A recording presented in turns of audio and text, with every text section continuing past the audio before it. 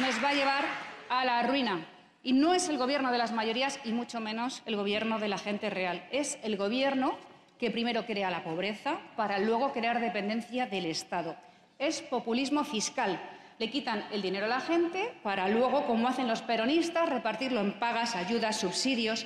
Pero le tengo que decir que la pequeña empresa española no aguanta más, que no pueden hacer frente a tantos gastos de producción, que el margen de beneficios cada vez es menor y van a acabar con las empresas y con ellas lo más importante, van a acabar con el empleo. niego a que el motor económico de España se instale en esa decadencia política y económica que está arruinando tantos países por el mundo. Aquí la gente quiere ser libre, quiere tener sus proyectos, quiere tomar sus decisiones y por eso en las pasadas elecciones el sur de la Comunidad de Madrid, que se pensaban que era suyo, se tiñó de azul. ¿Y sabe lo que vamos a hacer de aquí en adelante? Demostrar a su gente que no se está peor por ser del sur, sino por haber estado durante tantos años como en Andalucía en manos de sus políticas económicas, sociales y fiscales.